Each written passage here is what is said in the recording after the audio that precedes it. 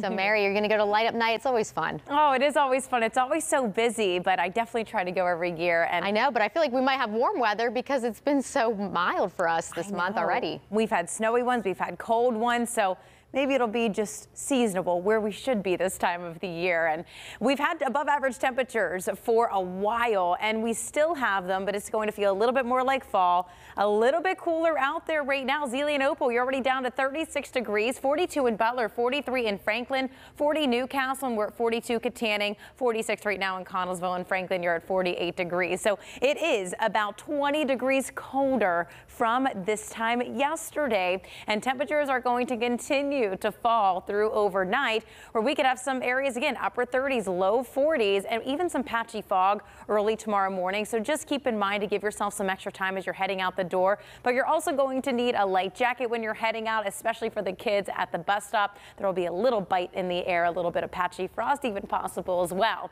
So we will have a lot of sunshine around for our Friday. It looks fantastic. High pressure builds in. Yes, it is dry and we certainly need the rain, but then we do see some rain this weekend. It's going to be on Sunday. Now, early in the morning on Sunday, we'll start off as some light showers, and then it'll pick up in intensity through the day. We'll also have some heavy downpours, and we need those heavier downpours, but it needs to be at a steady pace so that the soil can soak it all up, and it can help out our drought situation even just a little bit. We'll take whatever rain that we can get.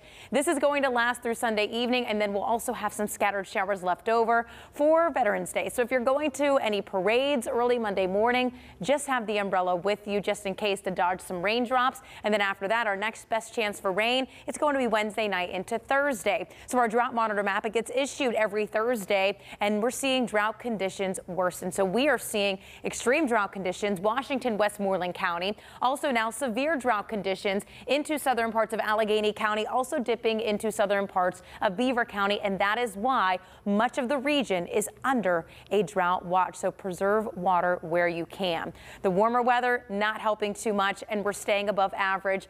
Check this out all the way through November 21st as we get closer to Thanksgiving. Tonight, 40 degrees, mostly clear with patchy fog. Looking at our seven day forecast, 60 degrees Saturday, soggy Sunday. Temperatures in the 60s, lows in the upper 30s, low 40s. 60 for Veterans Day, 57 on Tuesday, mostly cloudy. We're in the low 60s on Wednesday, still a little bit closer to average there Thursday with the chance for showers and a high of 56.